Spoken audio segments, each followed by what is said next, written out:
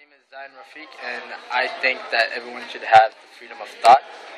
Reason being is everyone should be given the right to believe in what they want to, and